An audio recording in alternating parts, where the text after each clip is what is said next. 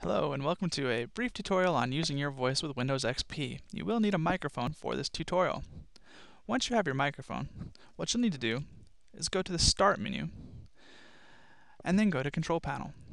From Control Panel, go to Speech. If this is your first time in Speech, it will walk you through a tutorial automatically. If someone's already done that on your computer, or if the tutorial does not automatically open, go up to New. This tutorial will will take you 10 to 15 minutes to go through. Once you've done that, it will create a profile for you. So once you've set up a profile, you're then ready to use your voice in many Microsoft Office applications. Take a look at how that works in Microsoft Word. Okay. In Word, when you're ready to use your voice to dictate text, what you'll want to do is go down to your taskbar. Right click on it. Now the first thing that I'm going to do is I'm going to unlock the taskbar and pull it up just a little bit. You'll see why in just a moment.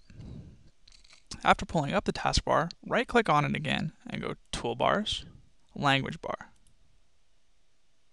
You'll notice the language bar appears nicely in this part of your taskbar. Whenever you'd like to use your voice with Microsoft Office, you'll need to click on the microphone. Then click where you'd like to talk.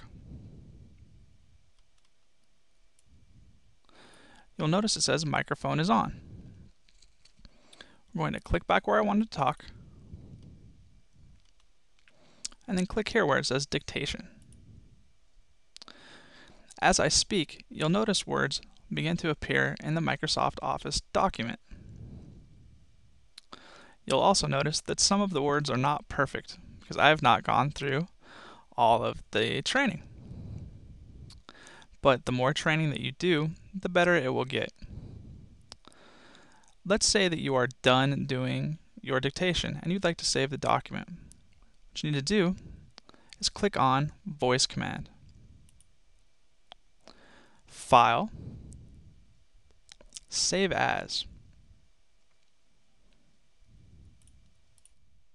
You'll notice when I told it to, to when I said File, it opened up the File section. And when I said save as, it gave me the prompt to give the document a name. So that's a brief tutorial on how to use your voice with Windows XP.